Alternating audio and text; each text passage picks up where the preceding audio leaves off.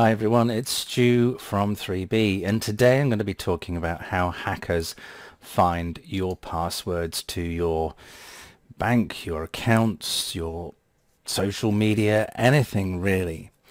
Um, the reason I'm doing this is that uh, yesterday um, I discovered that I was the victim of a, of a of a, of a small hack on uh, some of my accounts and it was an account that they managed to then use on my email, believe it or not. It wasn't my Gmail, thankfully, so it was a smaller email account that I didn't use very much.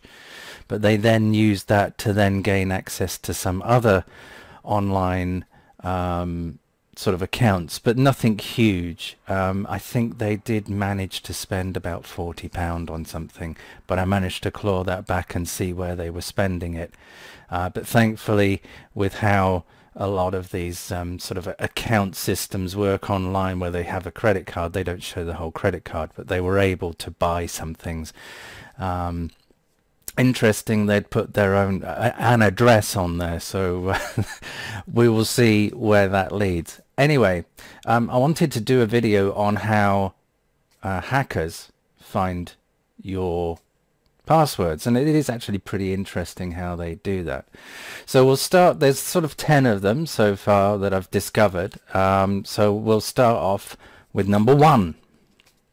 So number one is the infamous sort of dictionary attack. Um, basically all they use is sort of words that are found in the dictionary either singularly or together and those are sort of common used words together. So, um, Stu the man or, you know, odd things like that. So they'll keep trying variations um, upon those sort of similar themes. So say, for instance, if you work in IT and you're the admin guy, you may be putting your um, uh, username as the admin guy you know sort of so it uses things from a dictionary that are commonly put together in relation to in context to the to to, the, to either the, your job or the service that you're using online.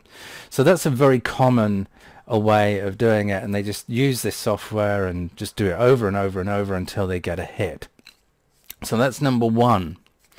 Number two is the brute force attack. Now this is a bit more aggressive and sounds a bit more aggressive. so simply instead of using words, um, they use sort of non non-dictionary words. So they'll use variations of sort of alphanumeric uh, variations that are very common. There are a huge amount of lists available where they can just track sort of commonly used uh, variations of alpha and numeric um, sort of uh, nonsense that they that most people sort of tend to use. So common ones, uh, the worst ones to use, obviously, are Q, uh, QWERTY, um, you know, SDFGH, and so on. All those sort of things are either reverses of that or variations of things that people commonly use. And then it sort of goes and extrapolates that beyond by using um, sort of AASSDD and all those sorts of things. Easy things for people to remember because they can see them visually on the keyboard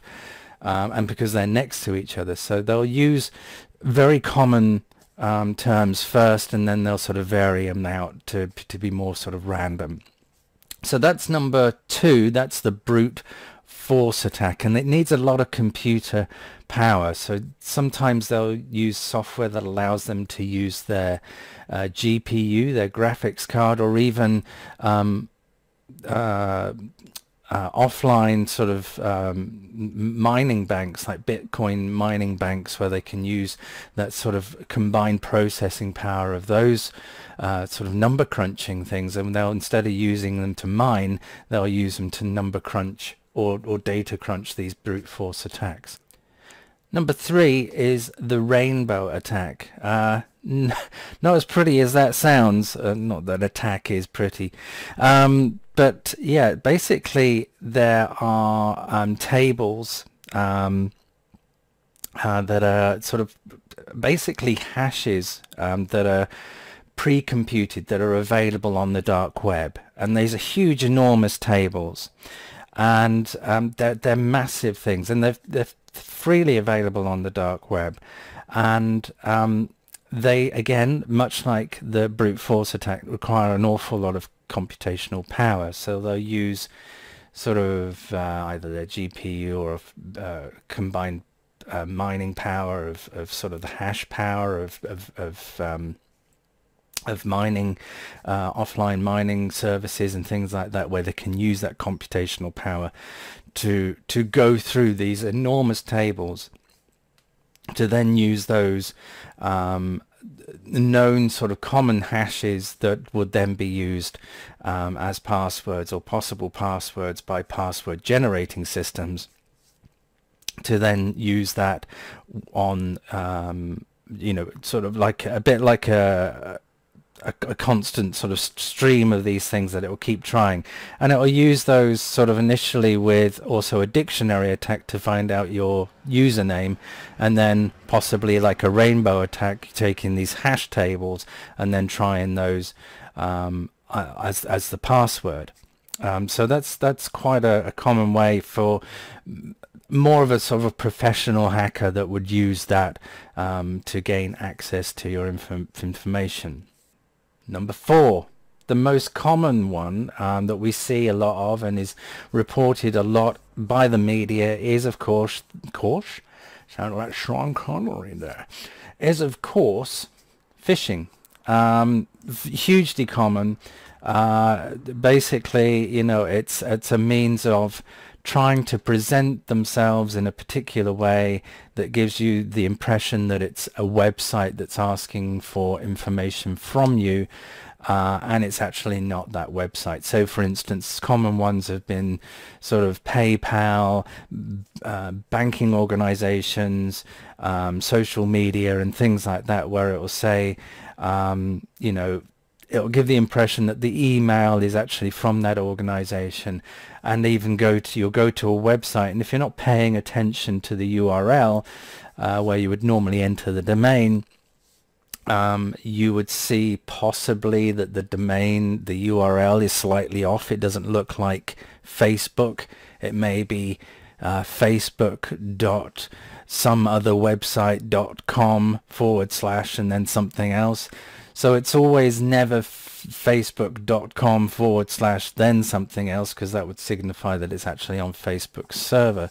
Uh, what what these people have done is they've set up a subdomain within a within a domain that they own. It's obviously not Facebook, but um, they then present the website that looks identical to web to to Facebook or PayPal or the banking login system or whatever, and gives the impression that it is those people.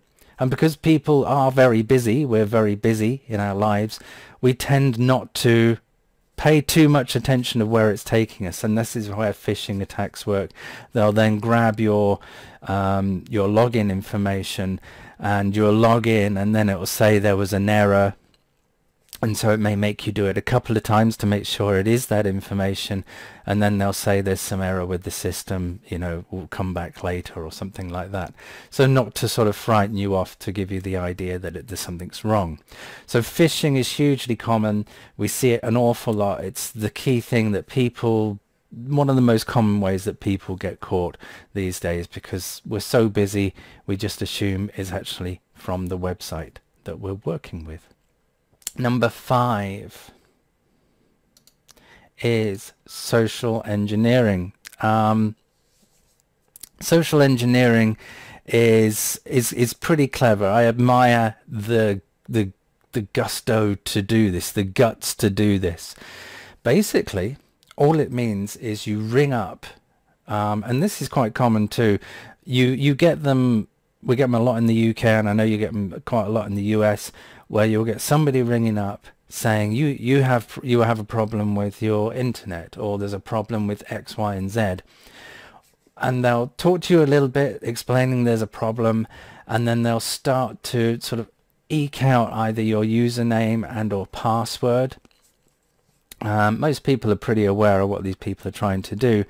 But again, if you're busy or you're not aware of how these things work, sometimes you know you get sucked into this and you're caught off guard and you're actually giving information that allows them to access whatever it is they're looking to access. So it could be anything from um, common ones that I've had are Microsoft calling me oddly um, saying you know we need there's a problem with your computer.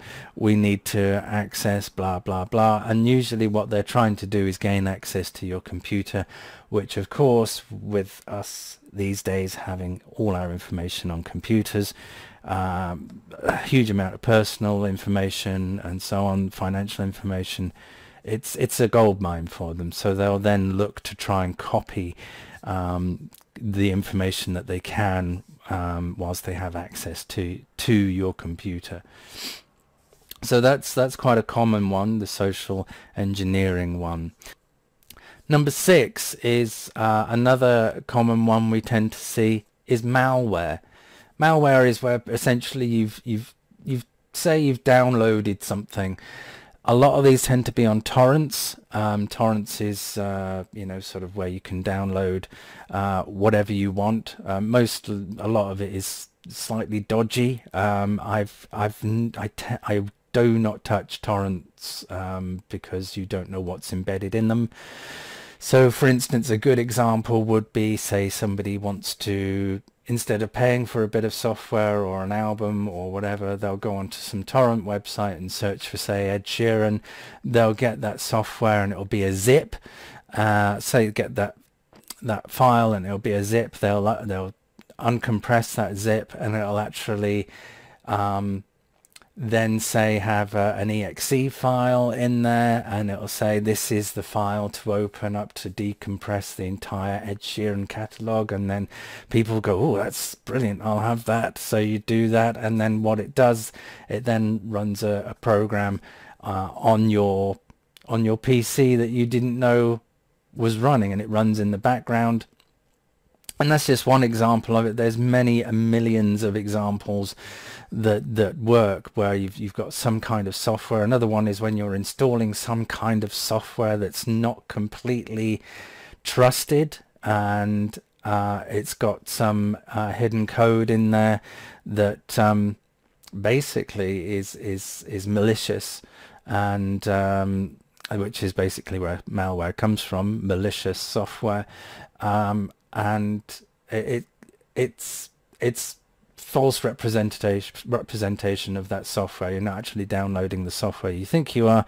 You're actually downloading a very nasty malware virus, which then gets through either that way or another common way is through browsers where you you, you um, accept certain code that runs on browsers uh, that's a very common way and then they can see and they have key loggers that will then see what you're typing. Um, so there's lots of different ways. Um, best ways to look out for those is first of all don't download very dodgy software. Make sure your Chrome browser or your browser is up to date and you're not allowing the installation of some very dodgy scripts. Um, the other way is to make sure that you're running virus software and um, that, that will look for malware. Uh, if you've got Windows, um, it's Windows 10 especially has all that built in, so make sure all that's up to date and running so you won't get caught that way. So that's number six. Number seven is offline cracking. Um, sounds disgusting and slightly painful. Basically, all this is is we've all heard of um, websites big websites being compromised where they've managed to get uh, the personal information of those that use those websites. Usually it's in the hundreds of thousands or even millions. I think it was Yahoo, it was the, the several million people got hacked or their information stolen from Yahoo. Um, that information is then available on the dark web and then basically they would go through that um, one by one or randomly and seeing if any of those work and then if they do they've gained access to to whatever. Say for instance your Yahoo email. Next one is shoulder surfing. Surfing? Shoulder surfing. Um, pretty a, a pretty simple technique, really. Basically, uh, if um, somebody will pretend the ballsy approach would be somebody going into an organization pretending to say be a cleaner or whatever or just even just some organizations you can just walk into. You know walk around the offices because they're so busy people don't even care. And you're wandering around and um, you know you're peering over people logging in into things and because they're behind you you can't really see um, a lot of the time it's actually employees of organizations that are seeing other people logging in and they're just not very nice people and they're gaining access to your personal information that way. Um, the, the, it's relatively small numbers. You know, these people wouldn't be targeting thousands of people or hundreds of people. They're very likely to just be targeting one or a handful of people. But it's always something to be cautious of. Um, if you feel somebody's lurking behind you at whatever, wherever you're at an airport or somewhere public in a coffee shop or even at work and it's somebody you don't know, just basically don't enter your password and and uh, username and password into a system where you feel you could be watched somehow. It's just not a great idea. So the next one is an odd one. It's called um, spidering, um, and it's I, have been guilty of this one myself actually. Uh, spidering basically is where um, an organization will use a password and uh, usernames that are related to the industry in which they work in or their business themselves. So for instance, you know, say if I I was really stupid and I with my um, bits bytes and bobs website I could say you know 3b admin and then the password would be um, bits bytes bobs or you know something really ridiculous or even you know YouTube one two three as a password. You know those odd, odd things because it's related to what my business does, what I do, and therefore, you know, it's relatively easy to guess. Oddly, I've, you know, read about some companies, small companies that would just simply use their company name, you know, or or small variations, or if, um, you know, like the, the, the managing director or the CEO's name, you know, it's, it's really surprisingly common how many organizations because they can't be bothered to secure it down and they know that quite a few people will be using it, they want to make it easy to share. But unfortunately, by making it easy to share, it then makes it easy for someone to guess. And that leads us on to our final one, which of course is simply guessing you know, if you know something about someone, um, say, you know, we can just go on social media and you can gain a bit of information about someone. A lot of people are quite open in terms of, you know, where their anniversaries are, their birthdays, uh, who their friends and family are. So if you combine all that information and you know which social media platform forms they're on because you can see them on there because that's where you're gaining your information from. You can then use that to guess what that person's username and password is likely to be. It is surprisingly staggering how many people give so much information away freely through social media without actually realizing that this is a publicly available platform that people can just go to and see this information quite freely and then use that to either gain access to that very same platform that you're using or something else that's commonly used by people that use those platforms. And then they would then simply guess based on the information they've gained from the information that you've freely given through social media. So be careful what you let out. So those are the top 10 ways that hackers gain access to your information online and guess your passwords. Just be very careful and mindful of these techniques. If you know of other techniques or if you've been hacked yourself, how did you deal with it? How did you find out? Um, what do you use and what techniques do you use to secure your accounts? But let me know your thoughts. Don't forget to subscribe. Don't forget to click the bell to be alerted when I've done some more videos. And give me a thumbs up. That'd be lovely.